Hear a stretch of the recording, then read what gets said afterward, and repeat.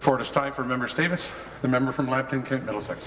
Well, thank you very much, uh, Mr. Speaker. I rise today to pay my respects to a friend and to a public servant who had a truly unique bond with his constituents. Mr. Speaker, there have been many tributes paid to Rob Ford. Many politicians, such as myself, and journalists have offered eulogies of one kind or another for a man who loved his family and the City of Toronto above all else. And while I like to think uh, Rob would appreciate this, I know the much more meaningful tributes have come from his family, the kids he coached, and the thousands of people who turned out to say a final goodbye at City Hall. Rob dedicated himself to being a father, son, brother, coach, and mayor. He was a champion for a lot of people who don't often find politicians in their corner. Over the last couple weeks, I know thousands of people have been retelling their personal stories of meeting Rob, having him help them out or call them up. Those anecdotes and the bigger story they tell about a man who had a radically down-to-earth approach to public service are a powerful legacy. I admired Rob for his leadership. He stood up for everyday people and always tried to do what was right for taxpayers. His constituency work was absolutely legendary. Rob Ford was larger than life, and his loss has been profoundly felt. Our prayers and thoughts remain, remain with Renata, Stephanie, Doug Jr., the City of Toronto, and Ford Nation. Thank you. Further member statements. The member from Hamilton Mountain. Thank you, Speaker. April is Autism Awareness Month, and this government has chosen to mark it by announcing changes to Autism Intervention Program that would deprive children of IBI after they were told they would get it. Under the new rules, IBI will not be available to children over the age of five. I have raised the issue of extensive wait lists for autism treatment before in this legislature. Not once did I expect that this government's solution would be to simply deny service to the many who are on the list. Over the past few days, I have heard from literally hundreds of families affected by this decision. Disappointed, devastated, shattered, shocked, disgusted, angry, ashamed, and scared. These are just some of the words that they've used to describe the feelings as they recount their personal stories. Many of them tell me of the startling improvement that they saw as a result of their child after the age of five with IBI treatment, and now the government is pulling the rug out from under them. In some cases, children were told within the past few weeks that IBI would be starting this month, only to be told just a few days later that because their child had reached the age of five, this was no longer the case. One parent reports that she was told just weeks ago that her son was an ideal candidate for IBI. This government needs to rethink the, about this plan and the effect that these changes will make on the children's lives who so desperately Thank need you. them. Thank you. April 1st marked the beginning of Be a Donor Month here in Ontario. Each April, the Trillium Gift of Life Network, through their Be a Donor campaign, raises awareness of the issues surrounding organ and tissue donation and those who are waiting for organ and tissue transplants.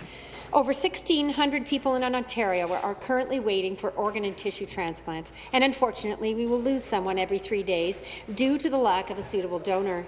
With close to 30 per cent of Ontarians registering their consent to be a donor, it is clear that the people in this province care deeply about helping their friends, their loved ones and their neighbours, but we can and must do more.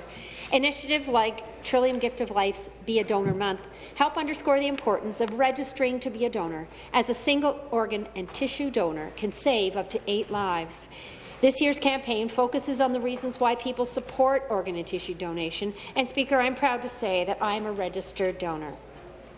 I encourage all of my colleagues in this House and every Ontarian to lend their support to this initiative by sharing photographs of themselves, their family and friends with messages of why they support organ and tissue donation with the hashtags hashtag MyReason and hashtag BeADonor. By sharing these powerful messages of love and support with our social networks, we can encourage more Ontarians to become donors. Most importantly, if you have not already done so, please take a moment to register to be a donor, or, or you can do so at any Service Ontario location. It only takes a few minutes, which can help save many lives. Thank you, Mr. Speaker. Thank you. Further member statements. The member from Wellington, Halton Hills. Mr. Speaker, more than 30 years after discussion on the Highway 6 Morriston bypass began, last week we were able to welcome the Minister of Transportation to Wellington Halton Hills as he announced the approval of this needed project. Working together, we've been pushing for the bypass for years, and I want to thank Mayor Dennis Lever, Township of Puslinch Council and staff, the County of Wellington, the Morriston Bypass Coalition, and many others who expressed support, including the Minister of Municipal Affairs and the Minister of Education. However, I need to remind the Minister of Transportation that there are still many other important transportation needs in Wellington Halton Hills. For example, last August, I was approached by the town of Halton Hills about the need for a long-term truck strategy, including the possibility of a bypass on Highway 7 around Acton. We immediately went to work on it. I've approached the minister on several occasions in the legislature to discuss this issue with him, and have also written to him a number of times. Last fall, I also tabled a resolution calling on the minister to place the Acton, Highway, sorry, Highway 7 Acton bypass on his ministry's five-year plan for highway construction.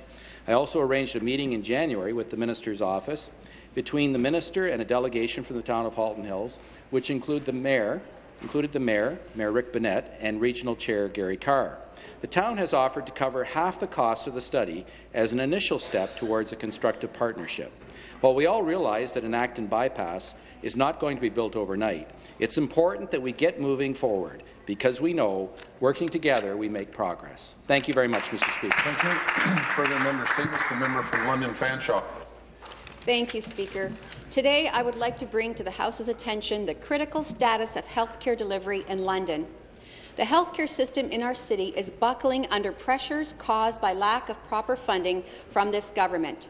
Recently, the system failed Sarp and Vicky Han Hankali when they took their baby daughter Alexis to Children's Hospital for a diagnostic surgery. They were instructed to stop feeding their daughter on Sunday night for surgery Monday afternoon, only to have the hospital continually push back the surgery while Alexis suffered hunger and confusion for two days. News reporters say a surgeon apologized for the delays, citing staff cuts as the reason they could not get baby Alexis into surgery on time. CBC News requested a response from the Ministry of Health, wherein the Ministry of Health distanced itself from their responsibility. The Hankali family experienced firsthand devastating, the devastating impact of continued cuts to our healthcare system. London Health Sciences and St. Joseph's Hospital both announced last week that they would be forced to cut staff hours and positions due to lack of adequate funding from the province.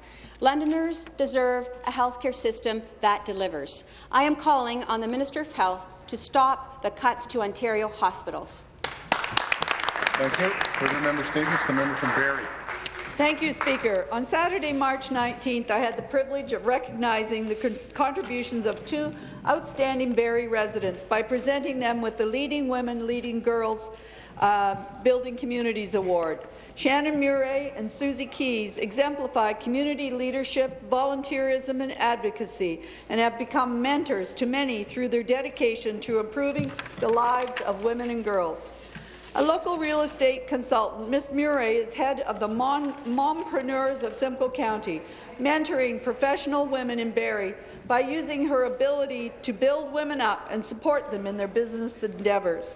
She organized the Shoebox Project, which provides necessities to battered women and has been a longtime supporter of the Women and Children's Shelter of Barrie. Shannon has also worked with Dress for Success, a program that provides business attire for women in need who are searching for a new career. She is the recipient of Barrie's Order of the Spirit Catcher and has been nominated multiple times for the Women in Business Awards. She is a passionate advocate and philanthropist focused on empowering women. Ms. Keys, as a leader in the Indigenous community, is, is currently president of the uh, Aboriginal Peoples Commission of Ontario. She also works at the Georgian Bay Native Friendship Centre, where she develops programs for children with fetal alcohol spectrum disorders, while also helping women expand their employment skills. She has put in countless volunteer hours mentoring young women, is now also involved in the Youth Quest program, demonstrating an openness and acceptance of youth. Mr. Speaker, it is a privilege to recognize the outstanding contributions of these women on behalf of the Government Great of statement. Ontario. Thank you. Member statements. The member from Perth Wellington. Thank you, Speaker. I'm pleased to rise today in anticipation of the fourth annual Canadian Dairy Expo. The Dairy Expo is taking place on Wednesday and Thursday in Stratford. It is the largest commercial dairy stage in Canada, showcasing the latest in dairy innovations. Since its inception in 2013, attendance has grown from 10,000 to over 15,000 people. It attracts farmers from across the country and the world. It's grown so much that this year there will be a new cow coliseum to accommodate the growing number of exhibitors. There is also a new innovation at the Dairy Expo. Organizers have partnered with the Dairy Farmers of Canada to run the Blue Cow Spirit campaign. All attendees are encouraged to wear their blue cow gear to create a sea of blue traveling through the expo. Mr. Speaker, I must say that's a great color choice. Wearing your blue cow apparel will save you $10 on your admission charge. I always enjoy attending the Canadian Dairy Expo, and I'll be there again this year. I welcome everyone to attend. I'll be serving breakfast on Wednesday and Thursday morning and touring the expo to learn about the latest innovations. I would like to recognize Jordan Underhill, the General Manager of the Canadian Dairy Expo, and his entire team for the hard work that goes into organizing each year's event. I would also like to extend my thanks to all the volunteers who make the event possible. Finally, my thanks to the City of Stratford for their contributions to the success of the Expo. I invite you all to attend the Canadian Dairy Expo from April 6th to 7th at Stratford Rotary Complex. Thank you, Speaker. Thank you. Further member statements? Member from York South-Weston. Thank you, Mr. Speaker. I rise in the House today to congratulate Constable Jim Lamb from Toronto Police Service's 12th Division in my riding of York South-Weston on being awarded the Public Heroes Award 2016. I first met Constable Jim Lamb about nine years ago when I was first elected as an MPP. His unwavering passion to build a safer community through his work as an officer, volunteer, and community liaison became apparent to me immediately. Constable Lamb is a tireless community leader. His participation in the community at countless events throughout the years demonstrates his dedication to the residents of York South-Weston. He is a mentor to people of all ages, especially youth and newcomers. His drive and determination is admirable to all. The Public Heroes Awards started in 2011, Mr. Speaker, to recognize the outstanding service of Toronto Police, fire and paramedic services in maintaining public safety in the City of Toronto. In 2014, the scope was broadened to the entire Greater Toronto Area. The goal of the awards is to recognize the dedication and excellence of individual members of teams of members of the police, fire and paramedic services in the GTA for delivering their services in an ethnically and culturally diverse environment. Congratulations, Constable Jim Lamb, receiving the Public Heroes Award. It is well deserved as you are a hero to many of us. Thank you, Mr. Speaker. Thank you. Further member statements. The member from Ajax Pickering. Thank you, Mr. Speaker. I'm pleased to stand in the House today to follow up and to acknowledge once again Grandview Children's Centre. Grandview is the only children's treatment centre in Durham Region providing ex expert pediatric treatment and rehabilitation services to well over 5,000 children and youth with special needs and their families. Grandview has been operating in the region of Durham for 63 years, and its headquarters have always been in Oshawa, and they've always done a great job. Minister of Child and Youth Services, uh, MPP MacCharles, has officially announced on March 29th $333 million in new funding for autism as promised in the recent Ontario budget. We listened to families and clinical experts that the current system was not working, and we have responded with an investment that will help more children receive critical services that they need. I want to uh, proceed and tell you that I know that Grandview's Children's Centre is very happy with this investment. In fact, Executive Director Lorraine Sunstrum-Mann has said Grandview Children's Centre is thrilled by these significant investments in children's services. This will change the lives of families with special needs, and for families with, in Durham Region, this means getting the right services sooner. Grandview Children's Centre has much to be excited about these days as a very recent donation from TD Bank of $200,000 dropped at a ceremonial puck drop at uh, Oshawa General Centre's Hockey Club at the GM Centre. And uh, the check from TD represents the largest single monetary donation ever received by Thank Grandview you. Children's Foundation. Uh, and that we want to, uh, Mr. Speaker, Thank acknowledge uh, the town of Ajax for their great contribution. Thank you. I thank all members for their statements.